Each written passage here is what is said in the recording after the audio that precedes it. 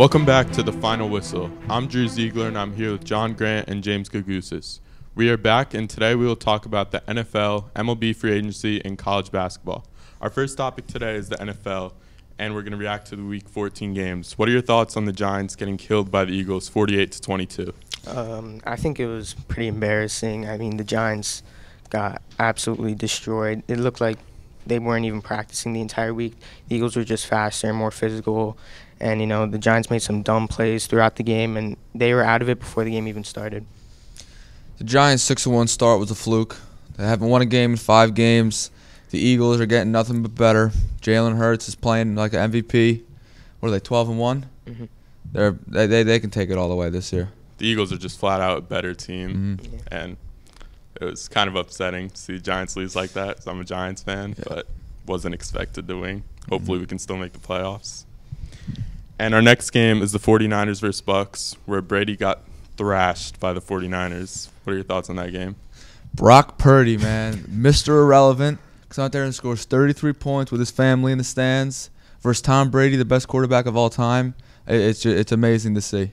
Yeah, the 49ers, similar to the Eagles, they just outmatched the Buccaneers.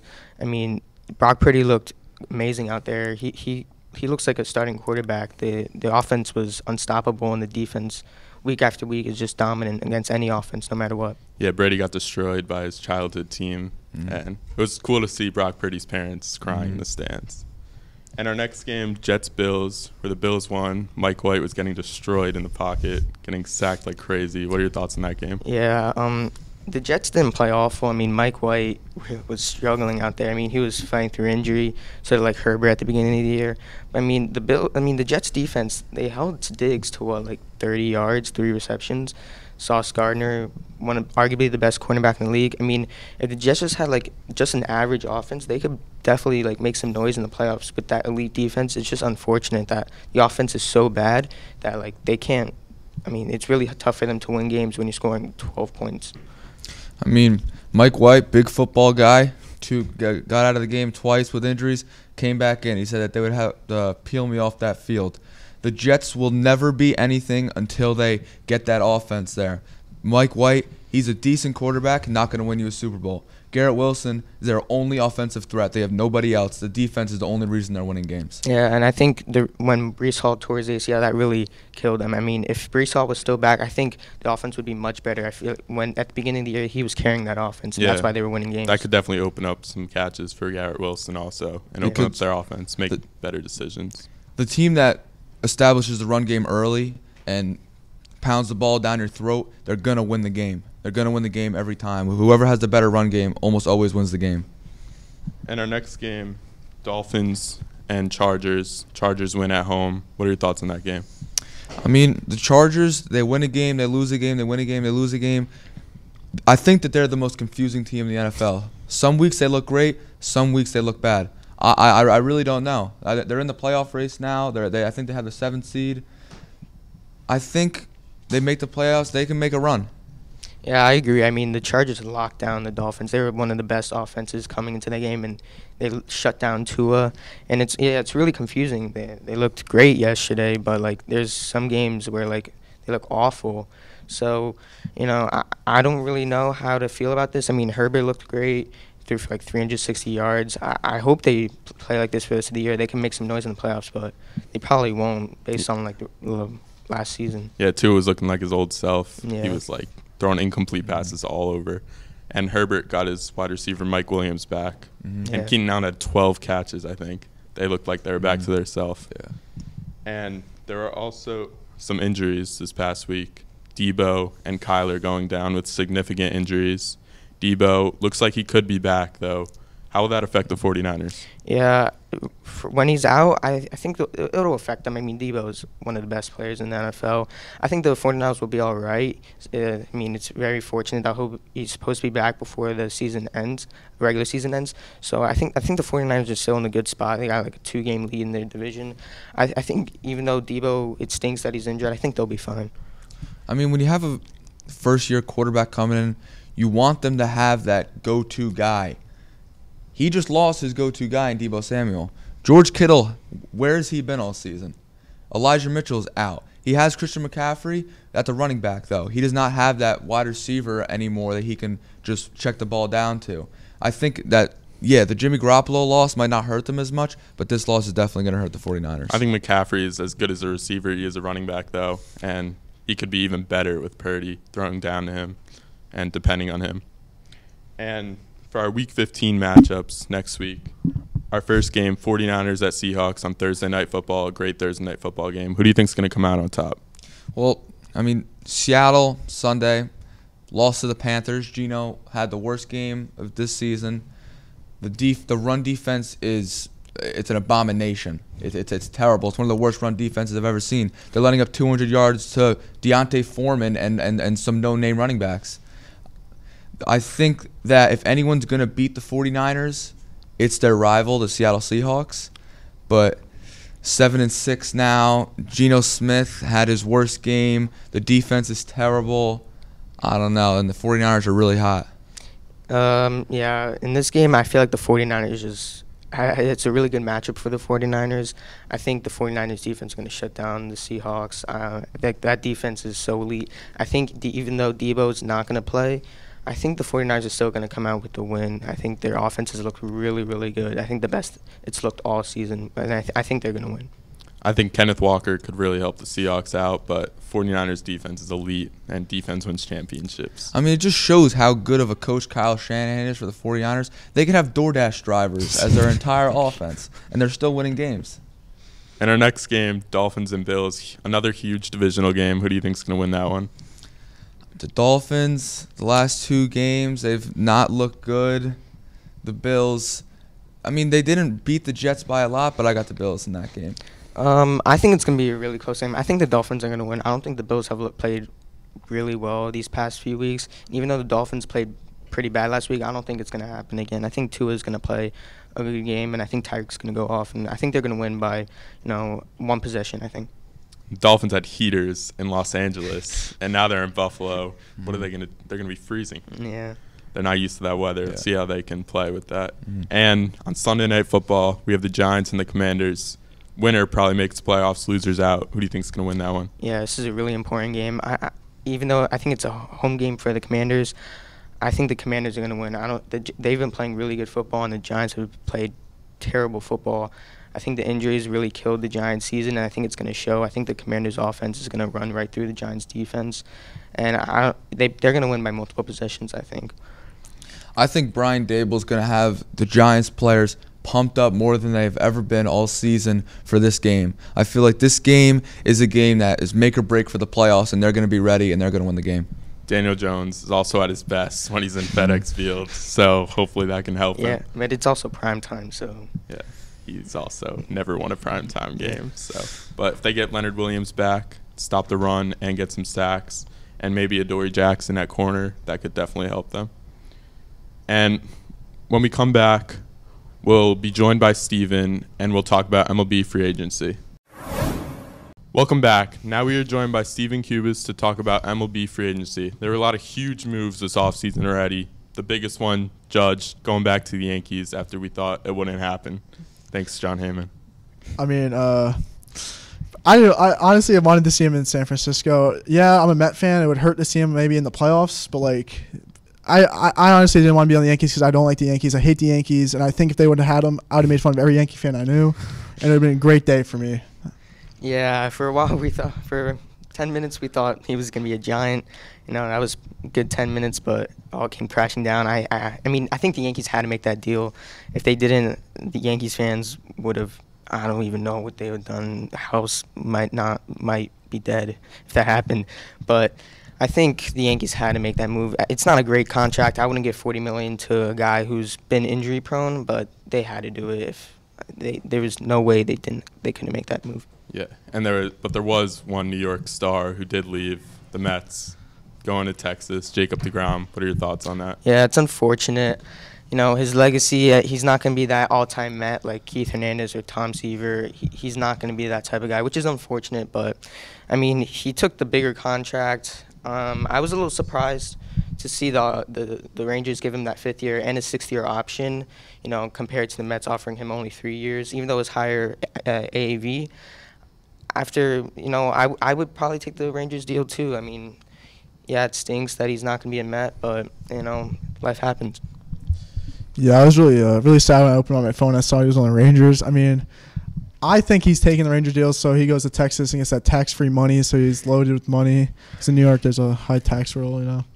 But I, I'm very sad. We lost an amazing pitcher. I think the Texas Rangers will ruin his legacy because they're a fourth place team in the division. Like I don't know how they're going to beat the Astros. Like it's really hard to beat them because they're so talented. And he also gets hurt a lot, which is like not really dependable. So, yeah. They already spent a lot last offseason with Semien and Seager, and they were still not a good team. So let's see how DeGrom can help them. But the Mets did bounce back with Justin Verlander, Cy Young pitcher. What are your thoughts on that? Man, I love I love Justin Verlander. I mean, he's uh, he was on the Tigers one World Series, on the Astros one World Series. I'm hoping the Mets World Series, but I'm also excited to see Kate Upton in the stands. You know, I think that brings a little joy to Citi Field. Everybody's gonna go there, maybe see Kate Upton. But we also get a Cy Young pitcher who's who's old but still got the game in him, and I can't wait to see him pitch. Yeah, as long as he stays healthy, I think this will be a good deal. Even though $43 million is a lot of money, you know, if he's that Cy Young pitcher from last year, it's gonna be a great deal for the Mets. He's really gonna impact the team, help the team. It's just as long as he stays healthy. If he doesn't, it will be a terrible contract. But I think he'll stay healthy. Steve Cohen doing it all for the Mets, spend so much money. He wants that World Series. Are they gonna get it?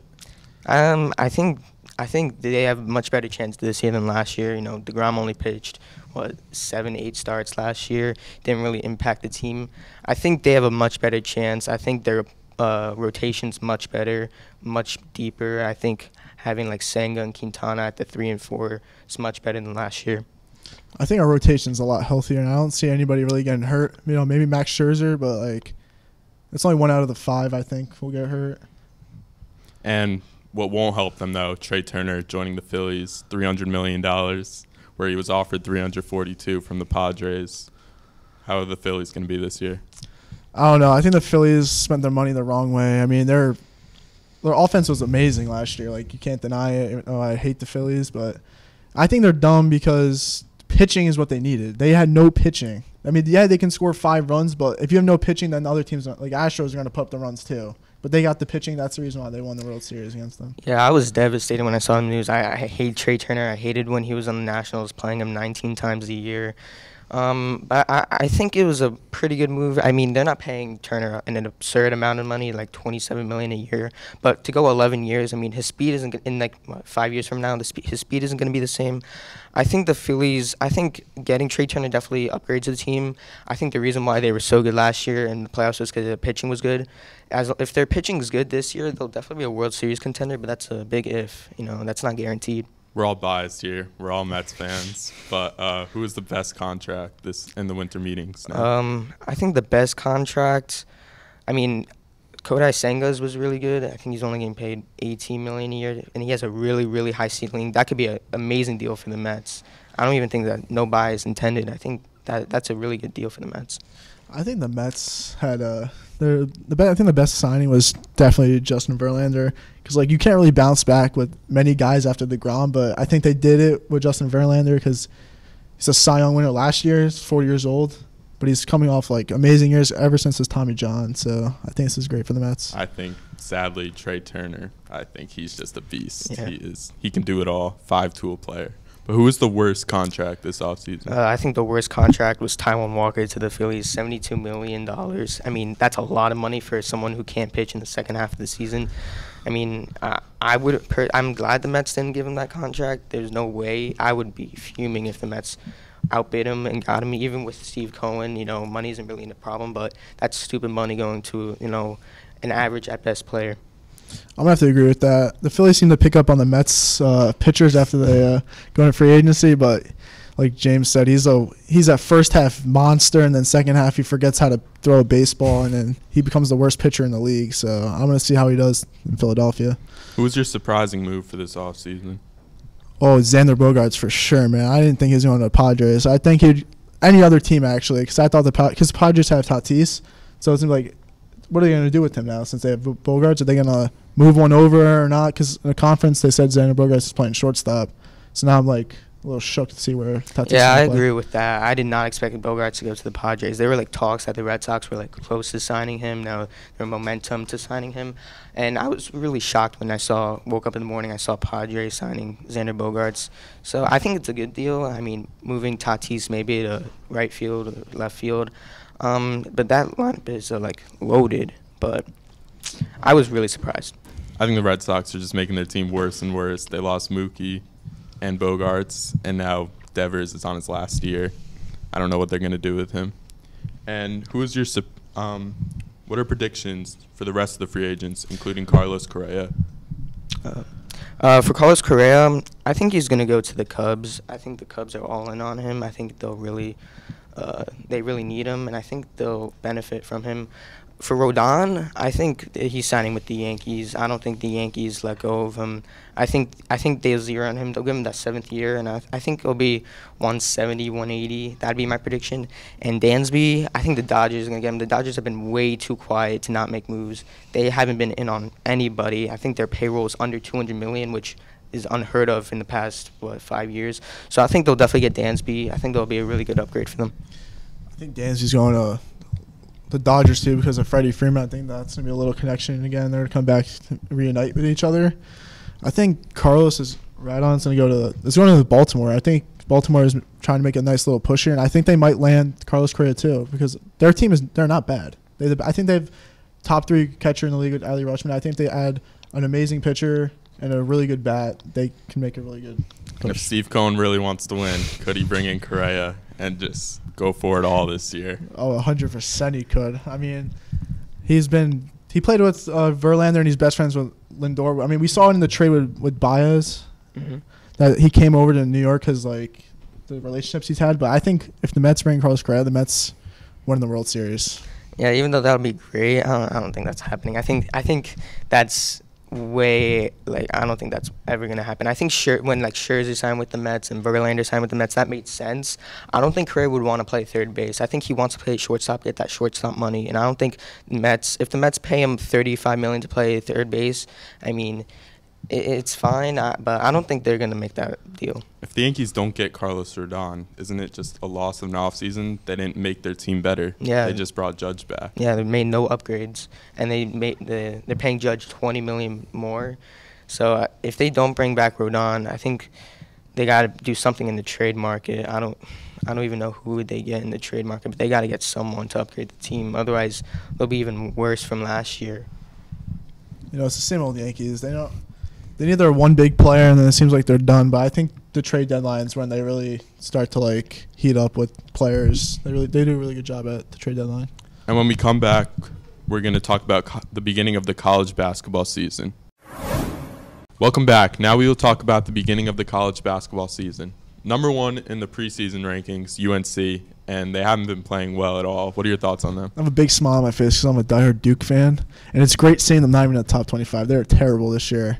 I mean, the ACC is actually really good this year, which is like a shock. They have a bunch of really good teams like Virginia Tech, Miami, Duke. You know, Wake Forest even is even good this year. Georgia Tech. I think UNC is gonna have a tough time in the ACC, and it doesn't make it better is when they lose to Duke twice this year, and it makes me feel good. Yeah, um, when even when they started off five and zero, they were not winning games by a lot. Like I feel like every other game was a close game, and then when they're on that four game losing streak, you know, it really showed they're not the number one team in the country, and it's it's confusing because they played so well last year, especially in the tournament, and they have the same team, and they're just playing awful basketball. Yeah, I think Hubert Davis should ask Roy Williams for some advice. And a team that has been playing really well, though, Virginia, can they make it like they have been in the past? Yeah, I think they've been really good. Uh, it's been a couple years since they've been really good, and I think they could definitely make it. They they got a really good roster. They had some big wins against Baylor and Illinois. I think they could definitely make it. You know, they got good defense. They always have good defense, and yeah, I, th- I think they can make it. They're off to a hot start. Yeah, Virginia. No, I'm not really a big fan of them either. You know, but they're they're playing really good basketball. They had impressive three wins: Michigan, Illinois, and Baylor, of course. Uh, but again, the ACC is really it's gonna be really tough this year, especially conference play. Conference play is never like easy for any team, no matter how good they are. But they're really good, so I can't wait to see how they do. A surprise team, UConn, has been playing really well. Can they be a really good team in the tournament?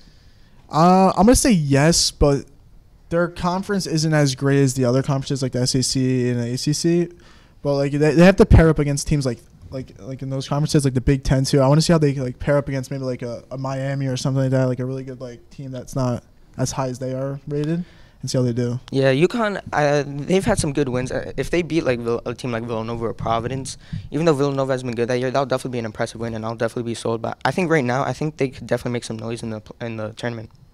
Uh, Gonzaga has been playing all right. They haven't been playing really well, and they're not in a good conference. Shouldn't they be playing better? Yeah, you, especially when they're in a bad conference, you expect them right now to be at least nine and one, not seven and three. They have some bad losses, some you know losses that they usually win. It's kind of weird to say that Gonzaga's been underperforming.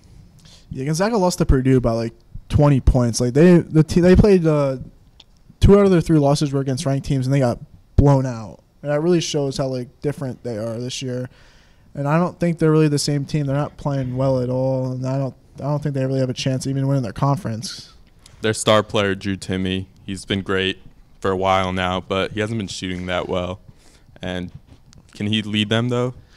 I mean, yeah, but for a player like him, I think it's 50 years, super senior. Um, I think to, to be a leader on a team, gotta be able to do like everything. I mean, he's a terrible like free throw shooter and a three point shooter, but like he does get a lot of boards, does put up a lot of points. But I think he needs to upgrade his game just a little bit more if he wants to carry this Gonzaga team all the way. Yeah, I agree. I think he has to he has to play better for Gonzaga to really be that number one tournament team.